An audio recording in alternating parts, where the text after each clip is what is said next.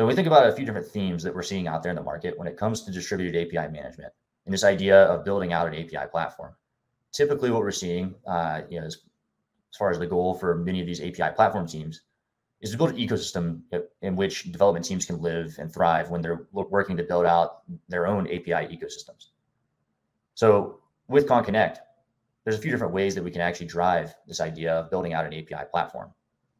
And we can do that via Kong's extensive plugin ecosystem. So what this allows is for us to actually uh, yeah, build out a topology of a policy, right, that developers will have access to and be able to use to uh, achieve different bits of functionality in their API flows.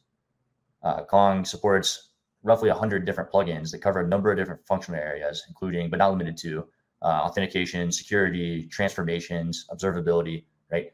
And so API platform teams can actually take take these plugins and these policies and start to build out a blueprint of what good looks like when development teams are going to market with their APIs. And with this idea of being able to uh, have governance over these distributed gateways and hence the APIs that are being propagated to the gateways, these API platforms can API platform teams can do things like establishing uh, security models that ensures that whenever a development team is going to go to market with a brand new API, that it's being exposed in a secure, efficient, and consistent way, and that you know, the, not just the API platform team, but you know, DevSecOps and you know the total organization will have confidence that they're not exposing a vector for breach. So to see a quick example of how we can do this in practice within Kong, what I'm going to do is come back to Konnect. And we're going to jump into the research development runtime group. Now, in this runtime group, we'll see that I actually have a gateway service created going to be acting as an egress for myself as a developer that wants to consume ChatGPT via OpenAI. Now, we'll see uh, as a part of the platform team, what I've enabled on this particular API are a couple of plugins. So what we've done is we've added an OpenID Connect plugin to make sure that every developer that's wanting to come in and uh, you know consume the ChatGPT API will have to provide their own uh, client credentials to authenticate with the gateway prior to being able to leverage the, the ChatGPT API. That way, we're able to govern and regulate which developers are actually coming in and consuming these APIs. We're also applying a request transformer advanced plugin to the API. So we don't want our developers to have to know what our organization-wide API keys look like for this ChatGPT API.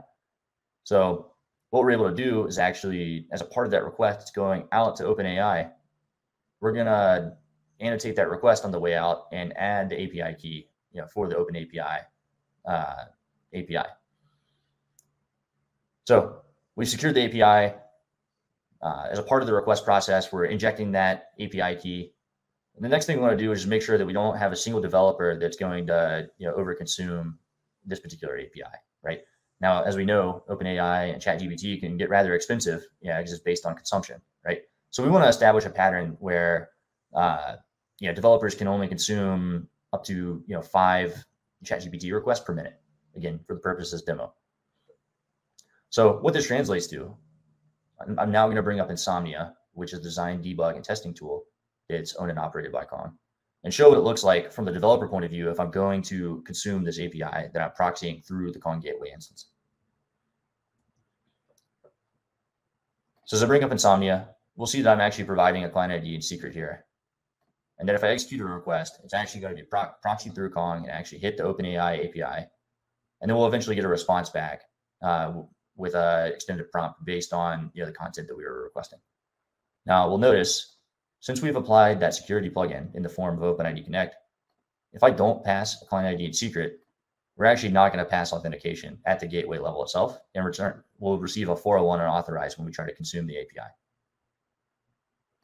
Likewise, if I re-enable authentication, what we'll notice is if I go in and try to execute many requests against this API, I'll eventually approach that threshold uh, for that we've set in the rate limiting advanced plugin for that ChatGPT API.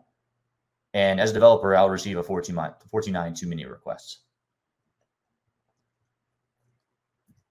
So that's just a really quick example of how in a distributed fashion we can actually manage uh, yeah, APIs that are running on a variety of different ecosystems yeah, within our organization.